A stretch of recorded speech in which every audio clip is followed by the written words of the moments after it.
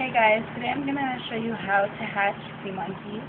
Well, I'm not going to show you, I'm going to explain to those of you who haven't done it before. Let me grab my pamphlet here. Okay. So, the first thing you're going to want to do is grab some water that's at room temperature. It has to be bottled water. It's best, and it will help your sea monkeys live stronger and longer. So grab some bottled water uh, pour it into your sea monkey tank and add pack number one, the water purifier. Stir it up. Okay, just give it a good stir until all the crystals dissolve.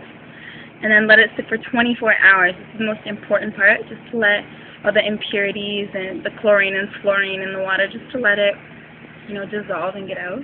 Get out of there. And then the next day, 24 hours later, you're going to want to pour in pack two, your eggs.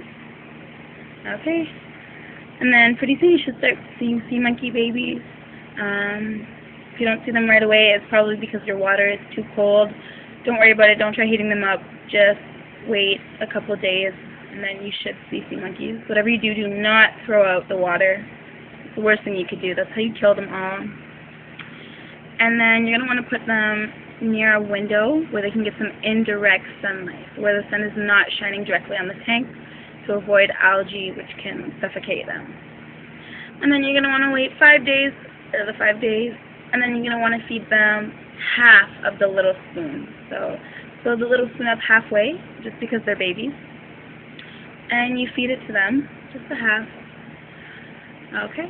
And then once a week, maybe two times a week, you're going to want to feed them a whole spoonful once they grow up and become adults. And they can then they can eat a lot. And you're going to need to aerate your tank. Now you can do this in a number of ways. The best way is with a million bubbles air pump, but I don't have that. if you would like to know how to aerate your tank, please check out my other videos, and you'll learn everything you need to know about sea monkeys, including how to aerate your tank. Thanks, guys.